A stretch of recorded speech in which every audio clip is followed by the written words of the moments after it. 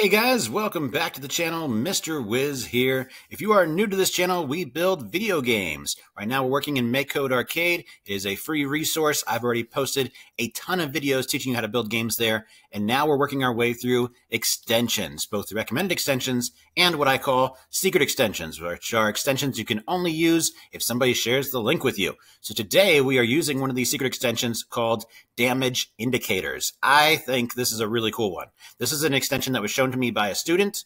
Um, and once I started using it, I just thought it was really nifty. So what is a damage indicator? If you think back to games, if you play any sort of fighting games, especially if damage isn't always set, if there's some randomness built into the damage, a lot of those games have damage indicators where you'll actually see a number appear kind of falling off of the enemy that you're attacking and it tells you how much damage you dealt them, right? So that's what the damage indicators is. And this is actually a pretty easy extension to use. So before we get started with the extension, right now I have open the clicker game that I made a while back in one of our old videos when we were just getting started. I built this simple clicker game where when I press a button, the character attacks the dinosaur and I get one point for every click that I make. And there's a countdown timer to see how many points I can get. So I'm just going to make some changes to this game using this new extension.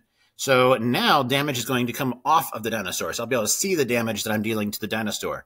And then I'm going to add some randomness into it. So we'll play around with all of that.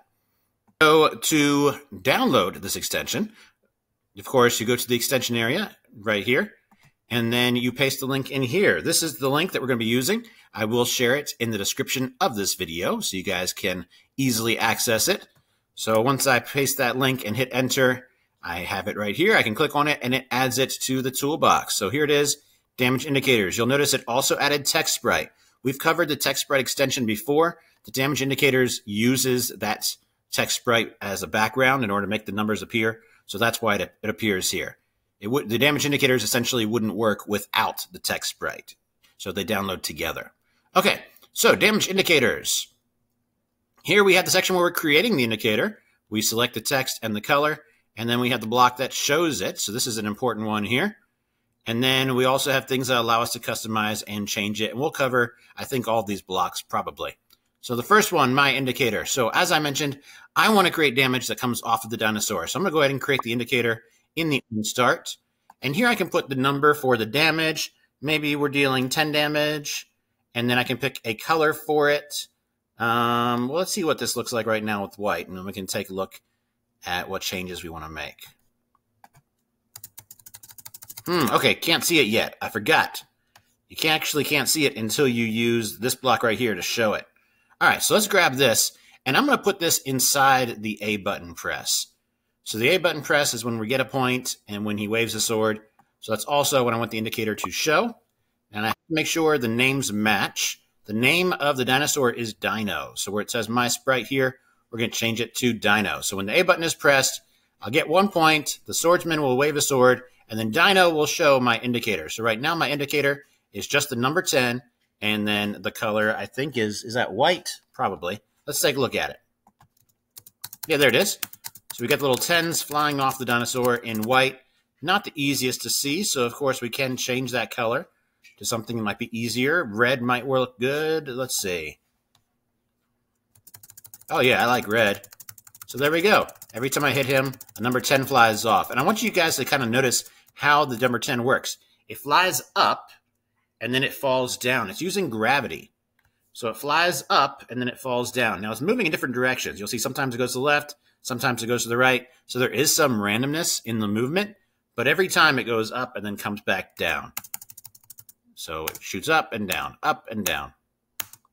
Yep. So it's creating one of those small parabolas like we learned about when we were learning how to code gravity, because this uses gravity. Okay. So let's look at the code some more. So that is how you create the indicator and then how you use the indicator. So those are the two main blocks. These down here are to customize it. So we can set different things about the indicator here. We can set its font size. So I believe the way font size works with this is it's not counting pixels. It's not pixel size. It's more of like a scale. So if we use font size 1, that's the default size. That's the size we just saw a minute ago, right? And if I want it to be bigger than that, I would just make it a bigger number. So if I use 2, it's actually going to be twice as big. It's setting up similar to creating a scale of two, right? So that's a very big change from one to two. So if two is too big, you could always do a decimal, right? Maybe 1.5, so one and a half size. Yeah, that's not bad. I actually kind of like that. All right, let's keep going. So I'll leave the font size at one and a half, and we'll just add some more stuff to it. The other options here, the font size, we have gravity, we have initial velocity, and we have random spread. So gravity is deciding how fast it falls, right? Initial velocity is how fast it's shooting up in the air. So if we give it a larger initial velocity, it will shoot higher up in the air before it falls. If we give it a bigger gravity, it will fall faster, or slower gravity, it'll fall less quickly, right? Random spread has to do with how far to the left and the right they move. Now, just an interesting little note I want to make here. It doesn't tell you what the default settings are. It doesn't tell us what the default gravity is, what the default initial velocity is, or the default random spread. So rather than using set, it might make more sense in these situations to use change. That way you're just changing from what its original one was, right? So like gravity, let's see what the gravity is. Since I don't know exactly what the number is, I can look at it and I can decide to either make it stronger or less strong. And if I did, I could change those numbers, right? Um, I actually like gravity. Uh, initial velocity, let's say I wanted to shoot a little bit higher up. I actually would like that. So right now, it only shoots up to basically his eyeball. Let's get it a little higher up there. So let's increase, let's change the initial velocity by, how much do I want to change it by? 100? Let's see what that, what that does. So I'm increasing the velocity by 100. Oh, okay. So that might be too much. That's shooting too high. Let's increase it instead by 50. Okay, I like that. So now it goes all the way up to the top there. That looks good. But it looks like it's disappearing pretty quick. So maybe I need to increase gravity so it falls faster. So I'm just kind of playing around with these numbers, right? And feel free to play around with them however you decide to in your games.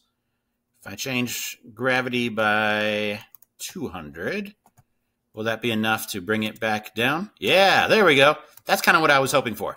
I wanted it to come up to kind of near the top of his head and then come down to near the bottom of his feet. And that's pretty close to that. So I actually kind of like that setup. Okay. Anything else I want to change? So we did gravity, we did initial velocity, random spread. So the random spread, let's get it back to zero to start with, is how far to the left and the right it moves. So right now, if I do it a bunch, you'll see it's not moving very far to the left or the right. So let's go ahead and increase that. How much? I really don't know. Let's see what happens. If I do 20, is that going to be a big change or a small change? That's actually pretty good. I like that. I just randomly guessed that, but I think that looks good. It's definitely wider than it was before. And once again, it kind of recovers most of his body, which I like. I like to base the damage indicators on the size of the sprite. So if it's a small creature, you don't need really widespread damage. But for a large creature like this, you might want that, right? Okay. Were there any other drop downs? No, that's all. So I'm happy with the selections that I made here. I chose a font size, and then I changed the velocity, gravity, and random spread. All right, so we'll keep going here. Of course, these bubbles allow you to see what's currently being used. All right, cool, cool, cool. And then, so this is the text, this is the color, and this is the stats for what we just did. So if you were curious what the stats were, this one can actually help you out with that. So let's say we were just curious about what the gravity actually is, right? I could throw in here as a programmer, as a tester. I wouldn't use it in the game, but just as a tester, I could put this in here and do a button I'm not currently using like B. And now if I press B, it'll tell me how strong the gravity is, right? So 700 is the speed of gravity right now. So just a fun little thing you can use if you were curious about the stats. I do that sometimes. Want more information about my game. All right, let's go back to the blocks. So these blocks allow you to see uh, the font size and the color. And then I, did I skip something? Oh, I skipped this, the end icon. How could I skip the icon? This is a great one. All right, let's go to the icon. So the icon puts a picture with the number. So in, the, in this case, I'm doing damage. So sometimes when you do things that are health related, Um, I like to grab a heart. Now, since I'm doing damage, I, sh I should also probably do a broken heart. So let me just go ahead and break this heart right quick to represent the damage. There we go. So I created this icon to go with the indicator. So check out what happens now. Now it's showing a broken heart with the number 10. Isn't that cool? Just a cool little visual there. Now, of course, my broken heart's not the prettiest. I'm sure you guys could draw something better than I did. But yeah, so you can add icons to your indicators.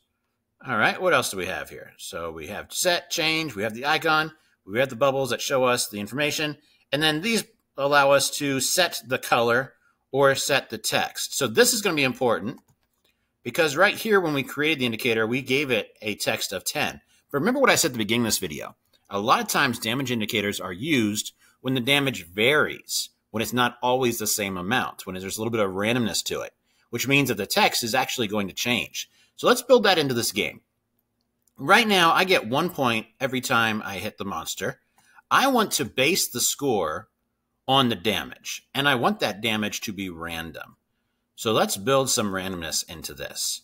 Um, let's go ahead and let's grab, there's more than one way we could do this, but I think this will work. I'm going to grab when the button's pressed, I'm going to set the text to, and I'm going to go to the math section and grab a pick random here. Oh, it's not going to let me do that. Aha. All right, then I guess I won't do it that way. Let's do it a different way. Let's grab a variable. We're going to create a new variable to keep track of the damage amount. So I'm just going to call it damage. And I'm going to pick a random value. So how much damage should we deal to this monster? Let's say instead of doing 10, let's say any number between 1 and 10. And then we're going to change the score by that same number called damage. And when it does that, I want to set the text to that same amount. So I'm every time I press the button, it's randomly. What's the error message I'm getting here? Argument type number is not assignable to type string. Okay, but it's using a number right now. Why wouldn't it let me use a number here? Hmm.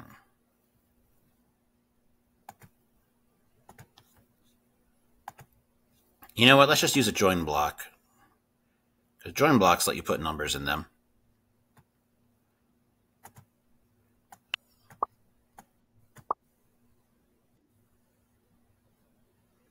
Yeah, I don't know why I did that, but that fixes it. Because join blocks allow you to put text and numbers or variables as text.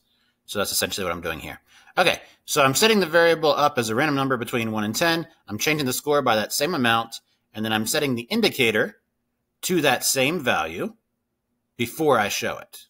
So this means that every time I hit him, it should pick a random number between 1 and 10, and then I should get that many points. You know what? 1 and 10 is pretty, pretty extreme. Maybe I should do 1 and 5. I can do whatever numbers I want to. It's really completely up to me as the programmer here. So let's see what happens. Two, one, three, four. Yeah. So as I'm doing it, numbers are coming off and I'm getting points for the amount of health I'm taking away from the character. This could also be done in something like a projectile game where maybe there's a boss fight and you're shooting at the boss. Maybe instead of having a set amount of damage each time, you create a little randomness and you can make it visible to the player so they know how much damage they're taking by using something like this damage indicator. Okay, so I think we've covered everything I wanted to cover there. Yep, and of course you can change the color if you want to, but in this case, I'm happy with it the way it is. But you know what? Actually, you know what? Let's do that. Just to show you, because I like to show you guys things. Let's say at the same time it's doing random numbers, it's also doing random colors. Do you guys remember how to do random colors? Have I ever shown you that? So all the colors built into the game, if you look here, it's these 15 colors, right? The white is number one, the black is number 15, and everything in between. So you can actually do random colors by setting it to numbers 1 through 15. Just a fun little thing. I don't think I ever showed you guys that. But numbers can be associated with colors. So now if I do it, they're also different colors each time. kind of fun, right?